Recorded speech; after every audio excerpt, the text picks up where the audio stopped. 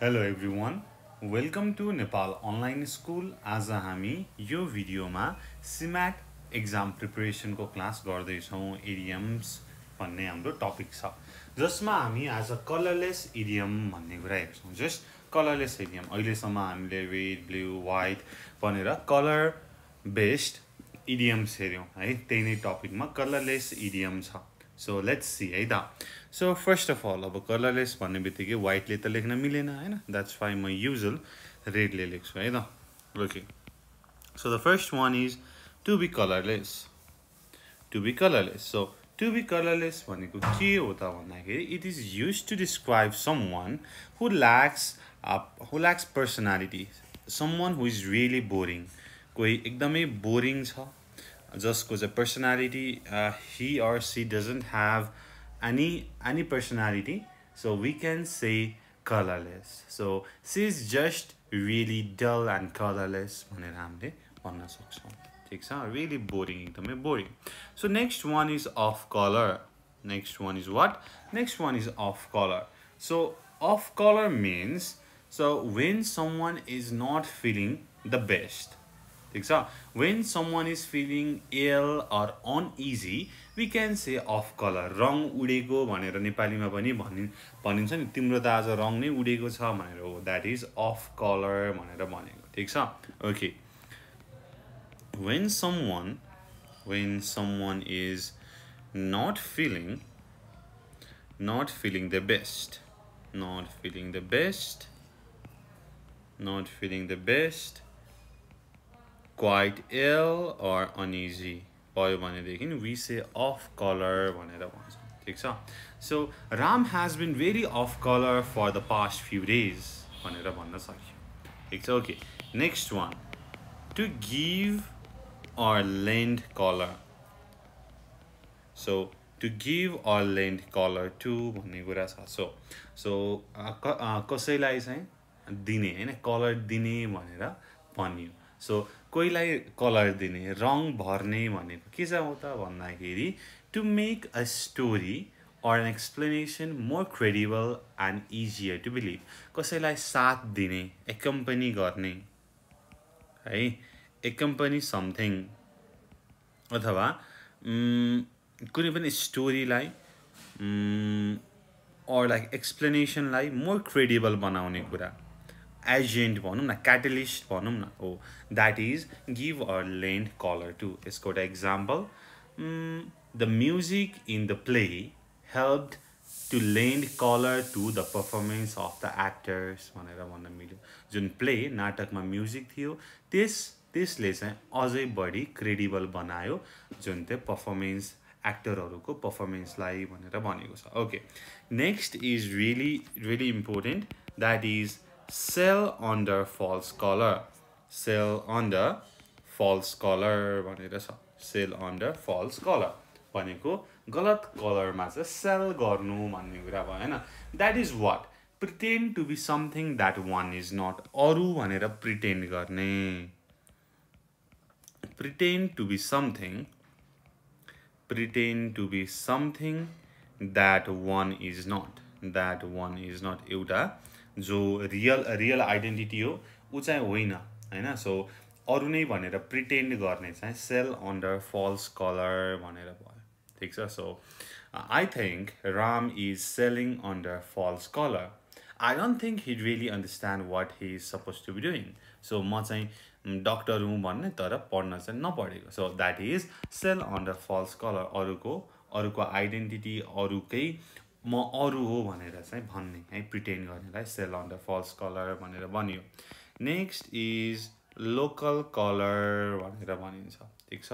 Local local colour भनेर भनिन्छ। So local colour भनेको चाहिँ it is use to describe the traditional feature of a place कुनै पनि एउटा प्लेसको traditional feature so okay okay traditional feature कुनै पनि एउटा ठाउँको ट्रेडिसनल फिचरको बारेमा कुरा गर्नु पऱ्यो ज जसले चाहिँ त्यो ठाउँको क्यारेक्टरको बारेमा भन्छ। भनेदेखि लोकल कलर होइन त्यहाँकै रङ भनेर भनेको जस्तै the vegetable market added much local color to the small town भनेर भन्न सकियो। ठिक छ? Okay next one a highly colored report a highly colored report. So this this one is also really important. A highly colored report भनेर छ. So highly colour report भनेको report जस जुन चाहिँ बेस्ट छ बिआइएसिडी बेस्ट छ रियल फ्याक्टमा छैन एक्जाजुरेटेड छ. ठिक छ? एक्जाजुरेटेड छ जस्तै तपाईँको जस्तै तपाईँको एउटा साथी छ राम होइन? रामले चाहिँ केही पनि लेखेको थिएन बट उसको चाहिँ मार्क चाहिँ एकदमै धेरै आयो जस्तै नाइन्टी आयो म्याथमा होइन एटी आयो सोसियलमा भनेदेखि चाहिँ त्यो चाहिँ हाइली कलर्ड रिपोर्ट भयो। ठिक छ? त्यो चाहिँ रियल होइन त्यहाँ चाहिँ पक्कै पनि केही तलमाथि भएको छ भन्नको लागि अ हाइली कलर्ड रिपोर्ट भनेर भन्न सकिन्छ। Next one. Next is see the color of someone's see the color of someone. Someone okay see the color of someone's money भनौँ न यसलाई चाहिँ see the color of someone's money भनेर छ okay this means um, to prove that someone has enough money for something to prove that someone has enough money enough money for something केही कुराको लागि पर्याप्त पैसा छ भन्ने प्रुफलाई चाहिँ see the colour of someone's money भनेर भन्न सकियो। ठिक छ? जस्तै the the antique dealer wouldn't let me touch the items I agree to purchase until he saw my saw the colour of my money मेरो चाहिँ पैसाको कलर देखेपछि चाहिँ उसले चाहिँ मलाई छुनलाई चाहिँ एग्री गर्यो। भन्ने कुरा मात्रै छ है त भनेको? सो हजार हजारकै नोट थियो होला होइन? ओके सो ठिक छ। See colour of someone money भन्ने भनेको चाहिँ मसँग टन्नै पैसा छ भनेर चाहिँ त्यहाँ चाहिँ देखाउने भन्ने कुरा भयो। Okay next one is chase rainbows chase rainbows so chase chase rainbows is something when someone tries to achieve that is difficult or impossible to achieve. When someone tries when someone tries to get or achieve or achieve something that is impossible to achieve. That is difficult that is difficult or impossible to achieve केही कुरा पाउनको लागि त्यो एकदमै impossible छ भनेदेखि त्यसलाई chasing the rainbows भनेर भनिन्छ। चेजिङ द रेनबोज कुनै कुरा इम्पोसिबल छ डिफिकल्ट छ तर त्यसकै पछाडि चाहिँ द गुड नै है chasing the rainbows okay so next one धेरैचोटि तपाईँले सुनिसक्नुभयो। To show one's true colour आफ्नो चाहिँ आफ्नो तैँले असलियत देखाइ छैन आफ्नो रङ देखाइ छैन भनेर भन्छन् नि होइन? हो that is to show one's true colour भनेर भयो। रिभिल हुने। Reveal one's true nature reveals one one's true nature भनेर भयो।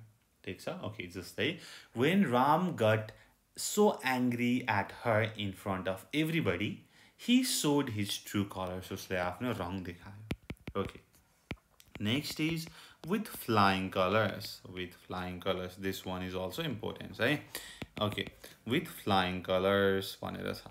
सो फ्लाइङ कलर्स उडेको कलरहरू भनेर भनेको छ. दिस मिन्स एक्सिलेन्ट रिजल्ट एकदमै राम्रो रिजल्ट आयो भनेदेखि तपाईँले फ्लाइङ कलर भनेर भन्नुहुन्छ. I passed my plus two in flying colours भनेर भन्न सकिन्छ मैले. एकदमै राम्रो मार्कमा चाहिँ मैले पास गरेँ भनेर भन्नको लागि. Okay next one dyed in the world died in the will भनेर भनिएको छ so died in the will means what uh, it is used to it is used to describe something or someone that is permanent केही कुरा permanent छ भनेदेखि हामीले died in the will भनेर भन्छौँ भन् भनेको के छ त भन्दाखेरि so the will that is died is is like permanent colour हुन्छ भन्ने बेस्टमा चाहिँ वुललाई डाई डाई गरेपछि अरू कलर हालेपछि त पर्मानेन्ट हुन्छ भन्ने कुरा भयो। So you can say my father has always been a dyed in the world conservative and I know he will never change भनेर भन्न सकियो। So dyed in the world भनेको पर्मानेन्ट सधैँ हुने भन्ने कुरा भयो। ठिक छ? Okay next one to paint in bright or dark colors. Okay, to paint in bright or dark colour भनेर छ अगाडि paint the town in red भनेको रिजोइस भनेर थियो है अब यहाँ यहाँ चाहिँ if we want to describe something that is flattering something that is flattering we we use bright and unflattering unattractive केही छ भनेदेखि to paint in dark colour भन्छौँ फ्ल्याटरिङ छ एट्र्याक्टिभ छ भनेदेखि पेन्ट इन ब्राइट कलर भनेर भन्छौँ। ठिक छ? He painted everything in the brightest colour and made it look like he was absolutely fine भनेर भन्न सक्यो। ठिक छ? ओके सो यो चाहिँ ब्राइटको लागि यो चाहिँ डार्कको लागि। Okay next one next one is very easy है त? To be kept to be to to be kept in the dark to be kept in the dark भनेर छ। भन्नुको मतलब के हो त? भन्दाखेरि अँध्यारोमा राख्ने भन्ने कुरा भयो। भन्नुको मतलब keeping secret from someone so keeping secret keeping a secret from someone कोहीबाट चाहिँ सिक्रेट राख्ने साँचो कुरा लुकाउनेलाई चाहिँ to be kept in the dark भनेर भनिन्छ। He kept everyone in the dark about his illness भनेर भन्न सक्यो। सो इलनेसको बारेमा चाहिँ उसले कसैलाई भनेन भन्ने कुरा बुझ्यो। है त ओके यो चाहिँ कलरलेस इडियम भयो। This one is really important है? ओके एकचोटि म सर र भन्छु फेरि तपाईँले बुझ्नु होला है त? To be colourless is really boring to be colourless is really boring someone who does not have any personality है व्यक्तित्व नै छैन त्यस्तो मान्छेलाई टु बी कलरलेस भनेर भन्न सकियो। next one is off colour when when some one is not feeling well when when some one is not feeling at the best you say off colour he has been really off colour for the past few days to give colour a to lend colour भनेर छ ठिक छ तिमी मेरो जिन्दगीमा आएर मेरो जिन्दगीमा रङ भर्यो भनेर हुन्छ नि होइन that is to lend to give colour भनेर भयो है कम्पनी समथिङ भन्ने कुरा भयो अथवा कुनै पनि स्टोरी कुनै पनि कुनै पनि एक्सप्लेनेसनलाई मोर क्रेडिबल बनाउने भन्ने कुरा भयो। Next one sell under false colour भनेर छ। So sell under false colour भनेको pretend to be something that one is not आफू त्यो कुरा होइन तर पनि त्यो हो जसरी प्रिटेन्ड गर्ने। ओके लोकल कलर भनेको ट्रेडिसनल फिचर जसले चाहिँ एउटा पार्टिकुलर फिचरलाई चाहिँ जनाउँछ एउटा क्यारेक्टरलाई जनाउँछ भन्ने कुरा भयो। अ हाइली कलर रिपोर्ट भनेको bias report exaggerated report real report होइन त्यसमा चाहिँ छेडखानी भइएको छ भनेर भयो है। See the colour of someone's money भनेर मसँग यति पैसा छ है। भनेर प्रुभ गरेँ म धनी छु भनेर भन्नको लागि चाहिँ see the colour of someone's money भनेर भन्न सकियो। चेज चेज रेनबोज भनेर छ। जुन कुरा इम्पोसिबल छ त्यो कुरालाई हामी भेट्टाउन चाहिँ ट्राई गर्छौँ भनेदेखि वी आर चेजिङ रेनबोज भनेर भयो। है okay to show one's true true colour आफ्नो रङ देखाउने reveals one's true nature with flying colours भनेको एक्सिलेन्ट रिजल्ट होइन बब्बाल। ए के त ए प्लस होइन? Three point nine five grade भनेको विथ फ्लाइङ कलर्स भयो ल। Dyed in the world means means permanent जहिले पनि त्यही हुने permanent okay to paint in bright colour भनेको flattering to paint in dark colour भनेको अनफ्ल्याटरिङ भनेर छ। To be kept in the dark to be to be kept in the dark means keeping a secret from some कसैलाई चाहिँ साँचोबाट ट्रुथबाट चाहिँ सेड गर्ने होइन लुकाउनेलाई to be kept in the dark भनेर भन्यो। ओके यसरी हामीले कलरको हामीले सबै इडियम्स एन्ड फ्रेजेसहरू गऱ्यौँ है र तपाईँले यो प्लेलिस्टमा भएको सबै भिडियो हेर्नु होला। सबै भिडियो इक्वल्ली इम्पोर्टेन्ट छ एक्जामको लागि र हामीले यो इडियम र फ्रेजेसमा सोधेको पास्ट क्वेसनहरू पनि सल्भ गरेका छौँ। सबै एकदमै इजी छ यो तपाईँले पहिला सबै भिडियो हेर्नुभएको छ भनेदेखि एकदमै इजी हुनेछ र त्यो भिडियो पनि पास्ट क्वेसनहरू पनि हेर्नु होला है त। र त्यति भन्दै यो भिडियो यहीँ टुङ्ग्याएँ। Thank you so much for watching until next time goodbye keep learning Jayachandra Surya. Peace.